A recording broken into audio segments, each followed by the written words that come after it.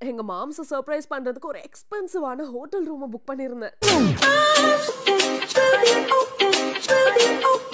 hi guys welcome back to our channel so இன்றைக்கி வந்து எங்கள் மாமாவோட பர்த்டே ஸோ இப்போ வந்து நாங்கள் மாமாவை சர்ப்ரைஸ் பண்ணுறதுக்கு ஒரு இடத்துக்கு கூட்டிகிட்டு போயிட்டுருக்கேன். ஆக்சுவலாக இந்த வீடியோ கொஞ்சம் டிலேவாக தான் வந்துட்டுருக்கு. ஏன்னா எனக்கு கொஞ்சம் ஸ்டடீஸ்னால அதாவது காலேஜ்னால எனக்கு டைம் செட் ஆகலை. அண்ட் அம்மா அம்மா கூட வந்திருக்காங்க. அம்மா அண்ட் ரெமோ நம்ம ரெமோ வந்து அதோ அந்த டப்பாக்குள்ளே இருக்கான்னு நல்லா பாருங்கள் அம்மா ஹாய் சொல்லிட்டு இருக்காங்க ஸோ எந்த இடத்துக்கு இப்போ போகிறோன்னா வர்ஷினியை பிக்கப் பண்ணுறதுக்கு ஸ்கூலுக்கு போகிறோம் அதுக்கு முன்னாடி வந்து நான் வந்து கொஞ்சம் கோகோனட் குடிச்சிட்டு இருக்கேன் அதுக்குள்ளே நம்ம வர்ஷினி கூட அரைவ் ஆயிட்டாங்க. வர்ஷினிக்கு ஆக்சுவலாக எக்ஸாம்ஸ் நடக்குது. ஸோ அவளை லீவ் போட வைக்க முடியல. ஸோ எக்ஸாம்லேருந்து முடிச்சுட்டு அப்படியே டைரெக்டாக போயிட்டோம். நான் வந்து கோகோனட் அந்த டெண்டர் கோகோனட்லாம் சாப்பிட்டுட்ருக்கேன் செம்ம பசி. ஆக்சுவலாக காலையில் எதுவுமே சாப்பிடல. இப்போ வந்து time almost One forty sorry twelve forty five அப்படி ஆகுது எங்களுக்கு செக்இன் வந்து அதாவது அந்த இடத்துக்கு கரெக்டாக நாங்கள் மூணு மணிக்கெலாம் இருக்கணும் பட் லேட் ஆயிரும் போல் రైట్లోనే ఉండి four hundred three hundred metres లో యూ టర్న్ చేయి యూటర్న్ చేయాలా అవును ఏంటి కొంపదీసి ఏంటి జిఆర్టీ గాని బుక్ చేసా GRT యా? అదే సారీ జిఆర్టీ అంటే ఐటీసీ యూటర్న్ చేయాలా స్ట్రైట్కి వెళ్ళిపోవాలి? యూటర్న్ మరి అన్ని బిల్డప్లు ఇచ్చావు. బీచ్ డౌట్ వచ్చిందా నీకు? ఏదో ఇచ్చేస్తున్నా అని తెలుసు. పని అదే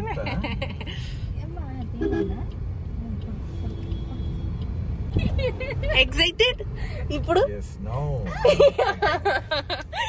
now you are excited? yes very much. Okay. Is this your first time? Yes. Itc grand.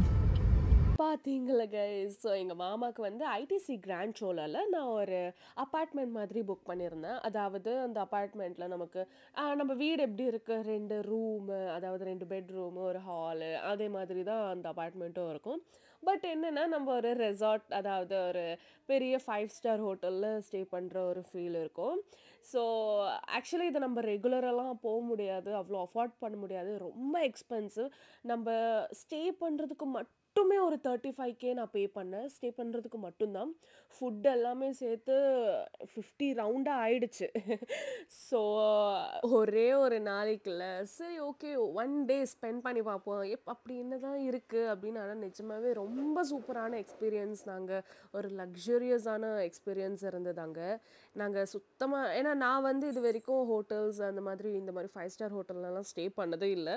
So first அந்த எங்கள் மாமாக்கு இந்த மாதிரி ஒன்று இருக்குன்னே தெரியாது. ஸோ அதனால் இப்படி கண்ணை கட்டி சர்ப்ரைஸ்லாம் பண்ணோம். கண்டிப்பாக நீங்கள்லாம் அந்த வீடியோ பார்த்துருப்பீங்கன்னு நம்புகிறேன் செக்இன் பார்த்தீங்கன்னா த்ரீக்கு அண்ட் செக் அவுட் வந்து டுவெல் கே. பட் எங்களுக்கு அதுக்கு முன்னாடி ஏர்லியராக ஃபுட் வந்துருச்சு. ஸோ சில்லுன்னு ஆயிடுச்சு. அதனால் நாங்கள் திரும்ப அதை சூடு பண்ணிகிட்ருக்கோம் நமக்கு பார்த்தீங்கன்னா எங்கள் அவனு லாண்ட்ரி ஸ்டவ் எல்லாமே இருக்கும் நமக்கு. நான் உங்களுக்கு எல்லாமே ஹோம் டூராக கண்டிப்பாக அதாவது எங்களோட ஒரு நாளில் இருந்த அந்த ரூம் அதாவது அந்த அப்பார்ட்மெண்ட் டூர் கண்டிப்பாக போடுறோம். உங்களுக்கு வேணும்னா கமெண்ட் பண்ணுங்கள் அண்ட் இங்கே வந்துமே அம்மா பார்த்தீங்களா ஃபோனு தான் பார்த்துட்ருக்காங்க எங்கள் மாமா பார்த்தீங்களா ஃபோனு தான் பார்த்துட்ருக்காங்க இங்கே நான் மட்டும்தான் இந்த ஹோல் அப்பார்ட்மெண்ட்டவே என்ஜாய் பண்ணேன் இந்த ஹோட்டலை என்ஜாய் பண்ணேன் அதாவது டைம் வேஸ்ட் பண்ணாமல் எங்கள் ரெமோ கூட விளையாண்டேன் அவனும் ரொம்ப அவனுக்கு என்னென்னா இங்கே கொஞ்சம் பயமாக இருந்துச்சு அவன் இங்கே வரதுக்கு ஆக்சுவலாக இந்த ஹோட்டல் மெயினாக நாங்கள் சூஸ் பண்ணதுக்கு ரீசன் என்னென்னா நம்ம ரெமோ அலோவ் பண்ணுவாங்க இங்கே. பட் என்னென்னா ரெமோக்கு எக்ஸ்ட்ராவாக நம்ம காசு பே பண்ணணும். ஃபைவ் தௌசண்ட் அந்த மாதிரி இவனுக்கு மட்டுமே நம்ம எக்ஸ்ட்ராவாக காசு பே பண்ணால் தான் நம்ம இவனை கூட்டிகிட்டு வர முடியும். பட் அவனை நம்ம ஸ்விம்மிங் பூலுக்கு அண்ட் ரெஸ்டாரண்ட்ஸ்க்கு அந்த மாதிரிலாம் கூட்டிகிட்டு போகக்கூடாது. அவனை ரூம்குள்ளே மட்டும்தான் வச்சுருக்கணும். ஸோ அம்மா வந்து அவன் கூட தான் இருக்காங்க. அண்ட் ஸ்விம்மிங் பூலுக்கு ஒரு சிக்ஸ்க்காக அப்படியே ஸ்விம்மிங் பூலுக்கு வந்தோம். அதுக்கு முன்னாடி இவங்க ஷவர் எடுத்துக்கிட்டு தான் உள்ள ஸ்விம்மிங் பூலுக்குள்ளே இறங்கணும் அப்படின்னு சொன்னாங்க. இப்போதைக்கு மாம்ஸ் வந்து வீடியோ எடுத்துகிட்ருக்காங்க பட் மாம்ஸ் கூட எங்களுக்கு வீடியோ எடுத்து முடிச்சுட்டு அவரும் ஸ்விம்மிங் பூலில் இறங்கிட்டாரு. யாருமே இல்லை கைஸ் ஸ்விம்மிங் பூலில் எல்லாருமே ஃபாரினர்ஸாக இருக்காங்க இந்த ஹோட்டலில் ஸோ யாருமே பெருசாக ஸ்விம்மிங் பூலுக்கு வரல. பட் எல்லாருமே நைட்டாக தான் வந்தாங்க. நைட் அண்ட் ஏர்லி மார்னிங்காக வந்தாங்க. நாங்கள் ஈவினிங் வந்ததுனால யாருமே இல்லை. ஸோ நல்லா என்ஜாய் பண்ணோம். இங்கே திட்டத்திட்ட ஒரு அஞ்சு பூல்ஸ் கிட்ட இருக்குது ஸ்விம்மிங் பூல் ஸோ இருக்கிறதுலையே பெரிய ஸ்விம்மிங் பூலை பிடிச்சிட்டு நாங்கள் அதில் செம்மையாக என்ஜாய் பண்ணிட்டு நாங்கள் வந்துட்டோம். ஸோ ஸ்விம்மிங் பூல் முடிச்சுட்டு உடனே நம்ம பக்கத்துலேயே ஒரு வாஷ்ரூம் வச்சுருக்காங்க. அங்கேயே நம்ம ஃப்ரெஷ் அப் ஆகிட்டு நம்ம ரூம்குள்ளே போகலாம் ஸோ வர்ஷினி நான் வந்து நான் எடிட்டிங் பண்ணுறதுக்குள்ளே வர்ஷினி தூங்கிட்டேன் ஏன்னா அவள் ஸ்கூலுக்குலாம் போனதுனால செம்ம டயர்ட் ஆகிட்டா என் நம்ம ரெமோ பார்த்தீங்களா? அவனுக்கு செம்ம விளையாட்டு. அவனுக்கு கொஞ்சம் பழகிடுச்சு இந்த ரூ எங்களோட அப்பார்ட்மெண்ட்டு ஸோ அங்கே இங்கே அங்கே இங்கே சுற்றிட்டே இருக்கான்.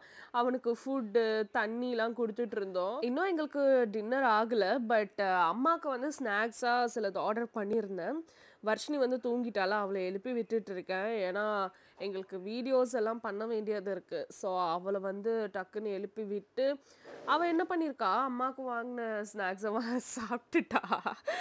அம்மா கூட என்னன்னா சொல்ல மாட்டாங்க. எனக்கு வாங்கியிருக்காடி அப்படிலாம் சொல்ல மாட்டாங்க எங்கள் அம்மா. அவள் சாப்பிட்றால சரி சாப்பிட்டுட்டோம் அப்படின்னு விட்டுருவாங்க. ஸோ அவள் ஏஞ்சிட்டு டக்குன்னு அவளுக்கு தான் வாங்கிட்டு வந்திருக்காங்க அப்படின்னு சொல்லிட்டு சாப்பிட்டுட்டா. சரி அதுக்கப்புறம் அம்மாவுக்கு வந்து நான் திரும்ப அவங்களுக்கு ஆர்டர் பண்ணி அவங்களுக்கு வாங்கி கொடுத்தேன். ஸோ சாப்பிட்டு முடிச்சதுக்கப்புறம் வந்து டின்னருக்கு டைம் ஆகிடுச்சு ஸோ டின்னர்லாம் நாங்கள் சாப்பிட்டுட்டு அங்கே ரெஸ்டாரண்ட்டில் வந்து வீடியோலாம் எடுக்கக்கூடாது. ஸோ அதை நான் வந்து வீடியோ எடுக்கலை. டின்னர் சாப்பிட்டு முடிச்சதுக்கப்புறம் நான் ஒரு கேக் ஆர்டர் பண்ணியிருந்தேன். கேக் கூட சென்ட் பண்ணிட்டாங்க. மாமாவுக்கு வந்து கேக் கட்டிங்க்கான டைம் வந்துருச்சு. அதாவது டுவெல் ஆயிடுச்சு. எங்க ரேமோ பார்த்தீங்களா அவனுக்கு குளிருது. ஸோ அவனுக்கு ஒரு டவல் வச்சு அவனை சூடாக வார்மாக இருக்கிறதுக்கு அப்படி பிடிச்சிருக்கோம். அண்டு கேக்லாம் ரொம்ப என்ஜாய் பண்ணோம் கைஸ் இந்த மாதிரி ஒரு எக்ஸ்பீரியன்ஸை எங்களோட லைஃப் டைம் எக்ஸ்பீரியன்ஸ்னு சொல்லலாம். இந்த மாதிரிலாம் நாங்கள் எப்போவுமே ஸ்டே பண்ணதில்லை. இது எங்களோட ஃபர்ஸ்ட் டைம் ரொம்பவே என்ஜாய் பண்ணோம். எங்களால் இப்போ கூட அதை மறக்க முடியல. மோர் தென் டென் டேஸ் ஆகிடுச்சு அங்கே போயிட்டு வந்துட்டு பட் ஸ்டில் எங்களுக்கு அந்த வைப் எல்லாம் இன்னுமே இருக்குது அண்ட் அந்த ஃப்ரேம் பார்த்தீங்கன்னா ஹோட்டல்லேருந்து சென்ட் பண்ணியிருந்தாங்க ஃபர்ஸ்ட் வந்து ரெமோவோட ஃபோட்டோ எடுத்துக்கிட்டா அப்படின்னு சொன்னாங்க. அங்கே இருக்கிற மேனேஜர் எங்களை வந்து ரூம் கூட்டிகிட்டு வந்து காமிச்சாங்க. ஸோ ஓகே எடுத்துக்கோங்க ரெமோ தானே அப்படின்னு சொல்லிட்டு சொன்னால் கட் பண்ணால் அவங்க கேக்கோட ரெமோவோட ஃபோட்டோ அமைச்சிருக்காங்க. அவங்க என்ன நினச்சிட்டாங்க? ரெமோவோட பர்த்டேன்னு நினச்சிட்டு இருக்காங்க போல். ஸோ இதுதான் அந்த கேக்கு இந்த இவ்வளோ டேஸ்டியான கேக் நான் இது வரைக்கும் எவ்வளோ காஸ்ட்லியான கேக் சாப்பிட்ருக்கேன் பட் இவ்வளோ டேஸ்டியான கேக் நான் சாப்பிட்டதே இல்லை.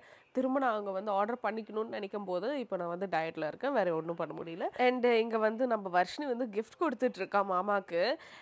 இந்த கிஃப்ட் வந்து வர்ஷினியோடது. நான் வந்து இந்த ஹோட்டலில் புக் பண்ணது என்னோட கிஃப்ட்டு ஸோ வர்ஷினியோட கிஃப்ட் வந்து இந்த வாட்ச் எப்படி இருக்குன்னு கமெண்ட் பண்ணுங்கள் வர்ஷினிக்கு வந்து என்னென்னா மாமுக்கு வந்து இது வரைக்கும் ஒரு கோல்டு வாட்ச் கூட இல்லை அப்படின்னு சொல்லிட்டு கோல்ட்னா ரியல் கோல்டு வாட்ச்லாம் கிடையாது. கோல்டு கலரில் இருக்கிற வாட்ச் ஒரு வாட்ச் கூட இல்லை அப்படின்னு சொல்லிட்டு இந்த வாட்டி அவள் இது வாங்கினா. நல்லா இருக்குல்ல அண்ட் கைஸ் இந்த வீடியோ போஸ்ட் பண்ணதுக்கு ரீசன் என்னோட ஹாப்பினஸ் உங்கள் கூட ஷேர் பண்ணிக்கிறேன். ஏன்னா இது வந்து எங்களோட லைஃப் டைம் ஹாப்பினஸ் இந்த மாதிரிலாம் நான் போனது கிடையாது ஸ்பெண்ட் பண்ணதும் கிடையாது. ஸோ சில பேர் வந்து நான் எப்போ இந்த மாதிரி ஸ்பெண்ட் பண்ண போகிறேன் அப்படின்னு நீங்கள் நினைப்பீங்க. கண்டிப்பாக அந்த மாதிரி ஒரு நாள் வரும். ஒர்க் ஹார்ட் கண்டிப்பாக நடக்கும். ஏன்னா நானும் அதே மாதிரி நினச்சி வந்தவ தான் ஸோ பாய் கைஸ் இஷ்கியூ ஆல்